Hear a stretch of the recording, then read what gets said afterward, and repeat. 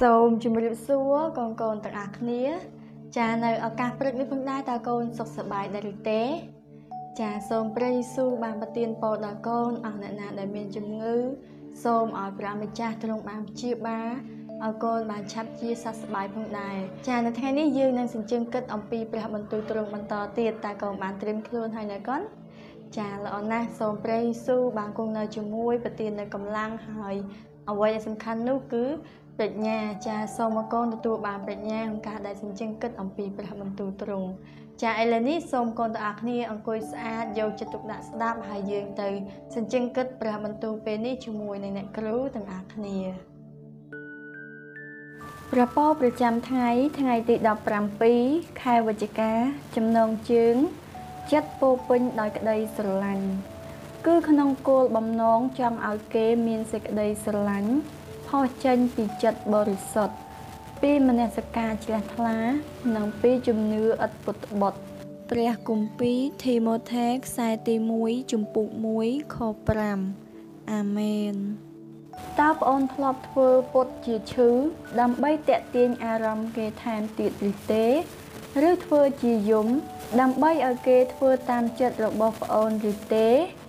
ប្អូនអាចបន្លំរឿងរ៉ាវជាច្រើនប៉ុន្តែ ប្អូនមិនអាចបន្លំសេចក្តីស្រឡាញ់បានឡើយសេចក្តីស្រឡាញ់ជាអ្វីដែលផុសចេញពីខាងក្នុងចិត្តមកប្រសិនបើចិត្តរបស់ប្អូនពោពេញដោយចិត្តមិនល្អឬមានចិត្តខឹងនឹងនរណាម្នាក់នោះពិបាកនឹងសម្ដែងសេចក្តីស្រឡាញ់ចេញមកណាស់ប៉ុន្តែ នៅពេលចិត្តរបស់ប្អូនមានព្រះជាម្ចាស់នោះមិនអាចទប់សេចក្តីស្រឡាញ់ជាប់ឡើយ ក្តីស្រឡាញ់នឹងហូរចេញមក ដូច្នេះចូលទុកឲ្យសេចក្តីស្រឡាញ់ហូរចេញពីក្នុងចិត្តរបស់ប្អូនមកចុះចិត្តរបស់ខ្ញុំពោពេញដោយសេចក្តីស្រឡាញ់ហើយខ្ញុំចង់ចែករំលែកសេចក្តីស្រឡាញ់នោះតើត្រូវលាក់សេចក្តីស្រឡាញ់ទុកឬ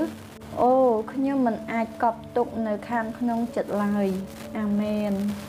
អរគុណព្រះអង្គសម្រាប់ព្រះបន្ទូលនៅថ្ងៃនេះសូមកូនទាំងអស់គ្នាបានសម្រុំចិត្តហើយយើងដាក់ដៃសំពះអធិដ្ឋានទៅកាន់ទ្រង់ បិតានៃយើងខ្ញុំដែលគង់នៅស្ថានសួគ៌អើយនៅវេលាព្រឹកនេះព្រះអង្គបានប្រទានព្រះបន្ទូលមួយ គឺចិត្តពោពេញដោយក្តីស្រឡាញ់ព្រះអង្គអើយតើសពថ្ងៃនេះកូនអើយពោពេញទៅដោយក្តីស្រឡាញ់ទៅដល់អ្នកនៅជុំវិញខ្លួនរបស់កូនដែរឬទេ ពេលខ្លះកូនខឹងកូនច្រណែនកូនអើយមានកំហឹងទៅលើអ្នកដទៃការស្អប់ក៏ដូចជា ហើយបន្ទោសផ្សេងផ្សេងសូមឲ្យកូននៅថ្ងៃនេះបានកែប្រែ ហើយនឹកចាំអំពីសេចក្តីស្រឡាញ់របស់ទ្រង់ដែលព្រះអង្គមានសេចក្តីស្រឡាញ់ចំពោះកូនទាំងអស់គ្នានៅថ្ងៃនេះសូមឲ្យយើងបង្ហាញនៅសេចក្តីស្រឡាញ់ដែលផុសចេញពីខាងក្នុងចិត្តរបស់យើងទៅដល់អ្នកដទៃហើយដឹងថាក្តីស្រឡាញ់នោះគឺព្រះម្ចាស់ទ្រង់ពិតជាសពព្រះハរតីឲ្យកូនធ្វើដោយ បង្ហាញទៅដល់អ្នកដទៃឲ្យពួកគេបានឃើញអំពីសេចក្តីស្រឡាញ់របស់ទ្រង់មិនមែនរស់នៅដោយការស្អប់ចំណានគ្នានោះទេ សូមឲ្យនឹកចាំពីព្រះបន្ទូលទ្រង់នៅថ្ងៃនេះហើយសូមឲ្យកូនអាចអនុវត្តបានចាប់ពីថ្ងៃនេះផងដែរព្រះអង្គអើយសូមទ្រង់បានគង់នៅជាមួយ សូមឲ្យការរស់នៅ លើផែនដីនេះជាប្រចាំថ្ងៃរស់នៅដោយការស្រឡាញ់គ្នាទៅវិញទៅមកផងដែរ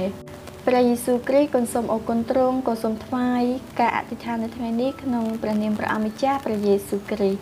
អាមែន